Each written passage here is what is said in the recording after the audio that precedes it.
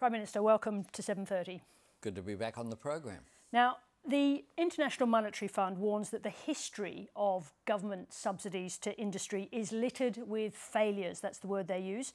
How do you convince Australians that your government and its agencies have the discipline and the rigour to get it right?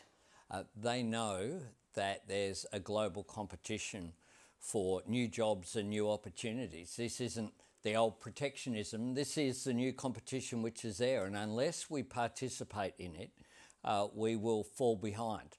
So we've got to be in it to win it for those new jobs, new industries, and new opportunities. Now, you're, you're talking about those very large subsidies that have been provided in the US, in well, particularly the US, the massive Inflation Reduction Act and the CHIPS Act, but also in Europe, in Korea, in Japan.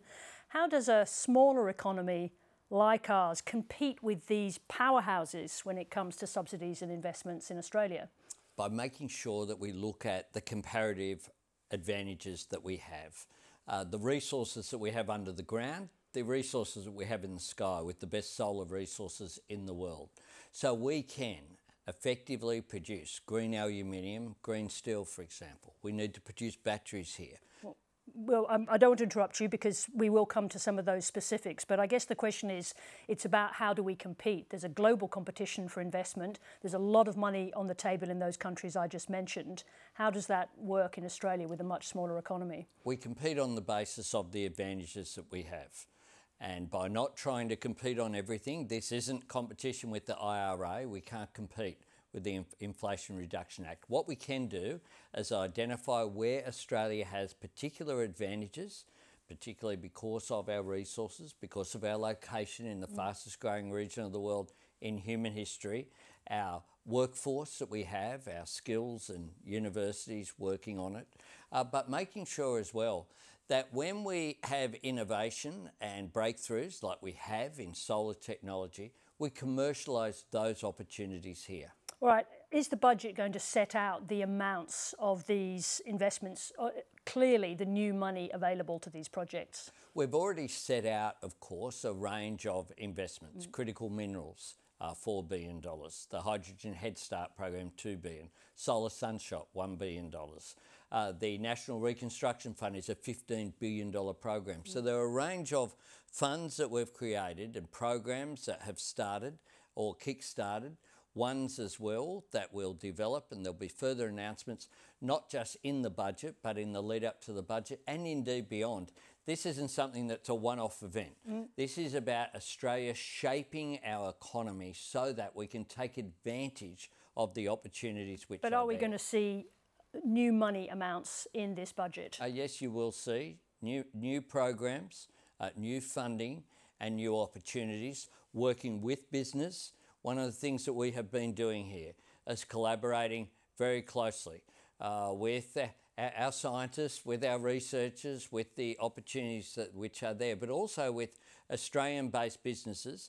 The other advantage that we have here, of course, is our superannuation industry $3 trillion of funds looking for the opportunity to invest in businesses and opportunities that produce a long term return. And that is what a range of these projects will do. Well, as I said, we will come to some of the specifics in a moment, but I want to quote a particular line from the speech today about the aims of the policy. You say, securing greater sovereignty over our resources and critical minerals. What does that mean in practical terms? Well, for example, what Canada has done is have a, a, a, program of ensuring that their critical minerals they, they maintain some national sovereignty or ownership over it domestically. Is that what we're going to do? Something like the Canadians, because they're going towards or have already done divestiture, haven't they? But they've got much stricter rules on investment in critical minerals. Will we do the same? They have very strict rules, but what we want to do is to make sure that we value add here rather than just export the raw materials, wait for someone else to value add, wait for someone else to create the jobs, and then import it back at greater value. Just stay where we were, if you would, Prime Minister, because that's a question about whether or not you have um, uh, vertical integration is the terrible expression for that, which mm. I'm sure leaves most people cold. But staying with that idea of greater sovereignty, are you intending to introduce stri stricter rules on foreign investment, as you just mentioned, like Canada has? Uh, no, not necessarily, but you'll see some of the measures in the budget uh, that will come forward and in the legislation that I've foreshadowed today, the Future Made in Australia Act. But one of the things that we are looking at is areas of identifying uh, two, two different motives, if you like, for intervention. One is where Australia has a comparative advantage. The second is where our national sovereignty matters. So, for example, we've invested in the creation of mRNA vaccines here. Uh, that is because we identified during the global pandemic uh, the problem if we don't have the resilience by having our own pharmaceutical industry here. Mm. That's an example of protecting our national sovereignty. Similarly, we can't have a situation where we have uh, the best uh, per capita solar panel usage in the world, but we mm. don't make hardly any here. Just, I keep saying we're going to come to solar panels and the detail in a minute, but I just want to stay with this sovereignty question because you used the word a few times in the speech. But this is very precise. This is about resources and critical minerals. So are we going to see new legislation, new rules around foreign investment in Australian critical minerals and resources? Uh, well, we have, of course, foreign investment mm. rules now that look at our national interests and that look at our national sovereignty. Are you looking to tighten them? We will uh, always examine on a case by case basis uh, these processes. Am I wrong in saying that in your previous answer to the question you did imply that there would be some tightening of those rules? Well, no, but we're prepared to, if it's not working, we will always look for national sovereignty. Uh, we welcome, of course, foreign investment here in Australia. It will play an important role in this transition. Is it your thought that there's been too much foreign investment in these new critical industries? No, my thought is that there hasn't been enough investment in value adding, mm. that there's been investment in extraction, but not investment in value adding, creating jobs and increasing uh, uh, our up, up the value chain is where we need to go because that's how you create jobs and that's how you also uh, protect our national sovereignty by making sure that we remain a country that makes things here. This is sort of in Labor's DNA, though, isn't it? This idea that we have given too much of our resources, wealth to foreign companies. Is that your view? No, my view is that uh, foreign companies have played an important role, but that uh, I make no apologies for asserting the national interest here. And that's why uh, we need to make more things here in Australia. And one of the things that the speech was about today was asserting the position, which is just a fact, that the whole world isn't stepping back and leaving things to the market. The world in this decade has changed the economic paradigm that we're dealing with. And if we are not involved and not engaged, then the whole world will just move past us well, because they are all intervening to look after their national interests, mm. to make sure that they uh, make things in their own countries, we need to make sure as well that our economy is more resilient.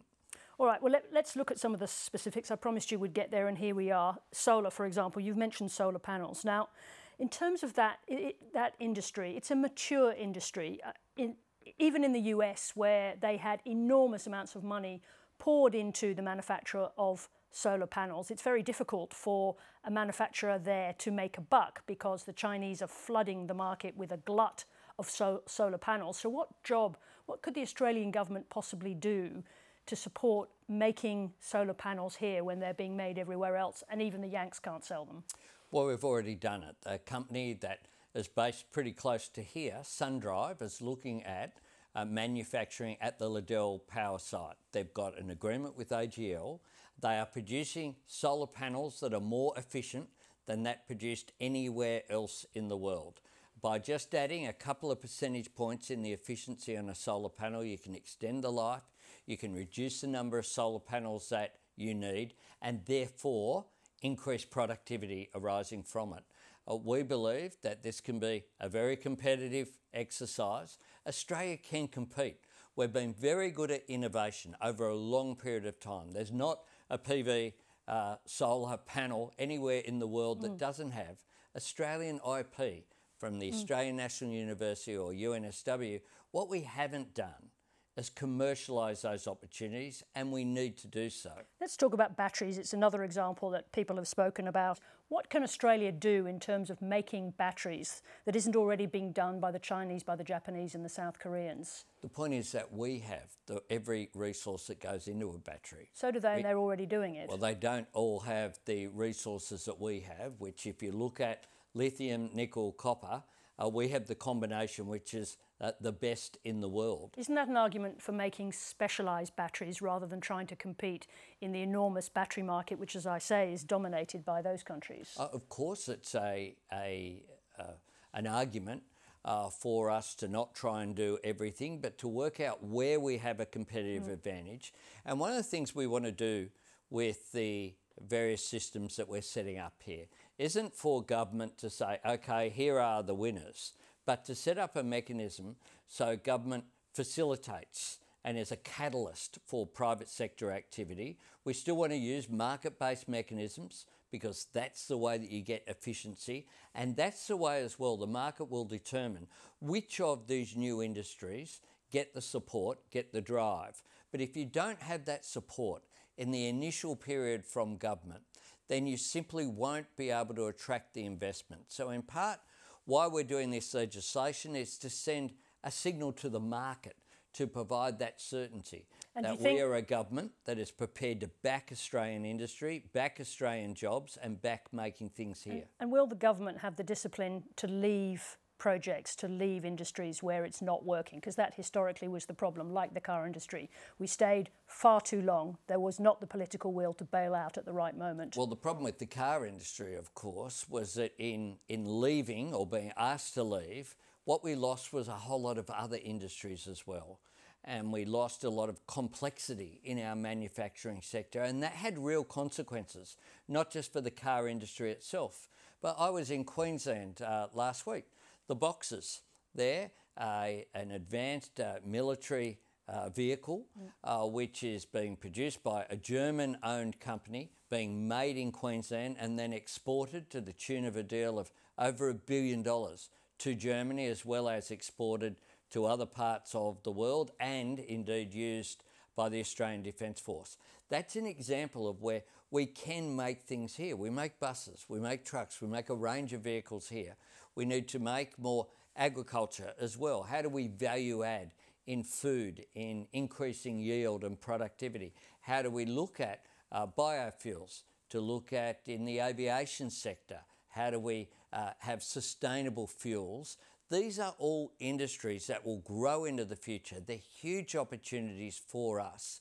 We need to identify them, back the ones that are the best opportunities, and, and seize the moment which is there because this decade will define whether we go forward or we, or we just stand still and watch the world go past us. Let me just go on to, uh, to another issue. Are there any circumstances, any circumstances in which Australia would move to recognise a Palestinian state before the war in Gaza is over? Well, the conflict, of course, is taking place there, and what is happening is that there is a global discussion about what happens post the conflict and how we provide a long term political solution, which is in the interests of both Israelis and Palestinians. Now, that uh, comes down to a two state solution. Uh, that is what Penny Wong uh, was talking about and that, the other And that's night. the question is there any, are there any uh, circumstances in which Australia would move to recognise a two state solution ahead of an end to the war? Well, there's no proposal uh, at this point uh, in time, but what we know is that uh, Australian recognition is an argument that's uh, significant. What's more significant is what is the solution in the Middle East that avoids the conflict which has been there for our entire lifetime? How do you get a resolution whereby Israelis can live mm. in Israel in peace and security with recognition by its neighbours, in security knowing that uh, it's not going to be attacked? and how can Palestinians achieve justice and a, a sustainable uh, living. It is, it is not acceptable that generations of Palestinians have been uh, forced to live in the conditions in which they have. That is a cause of much disruption and conflict in the Middle East, and indeed that has flowed uh, beyond the Middle East at times as well. Would your government be prepared to move to move on that ahead of the US, or will you inevitably wait for them to move first? Well, what we're doing is engaging with our partners, and we have had uh, very similar comments that Australia's made, uh, as the United States has done, uh, Canada has done. I've issued a range of statements with uh, the Five Eyes partners, Canada and mm. New Zealand, all of which have called for a two state solution. And indeed, in the Parliament, we've called for a two state solution as well, and that is something that has received very broad support. Um, just on the question of Zomi Frankcom, is Air Marshal Binskin on the ground and is he getting the, ac- the access that you demand? Well, we will deal with that privately. Is he there yet? We'll deal with that privately and we'll release a report at an appropriate time. We want uh, Mark Binskin to be able to do the work that he's undertaking. Are you concerned that he's not going to get the cooperation you want? Uh, no, I'm, I'm confident that he will receive uh, cooperation. He's someone who is a well respected figure uh, globally. Uh, due to doesn't mean the IDF is going to cooperate experience. with him, though, does it? I understand that, mm. but what we what we are doing is putting forward. We've put forward someone uh, who is well qualified uh, to have a proper examination to report uh, to us, so that we can have the accountability and transparency that the Australian public expect. And if you don't get it, does Australia remain a friend of Israel? Look, Australia's friendship with Israel uh, goes back to its very foundations it goes back to the work that Doc Evatt did. Uh, but friends of Israel uh, need to, like friends of, of anyone, need sometimes to tell people uncomfortable truths. And the truth is uh, that uh, people are very concerned uh, about uh, the actions and the, the consequences of what is going on in Gaza. we have made very clear our opposition to a ground offensive in Rafah. And it's important uh, that people who are friends are able uh, to talk straight, and that is what we have done. And just finally on Julian Assange, uh, his lawyer this afternoon after Joe Biden's, the President Biden's comments in the Rose Garden were, it's time for you to keep the pressure up. Is, is there anything else that you can do?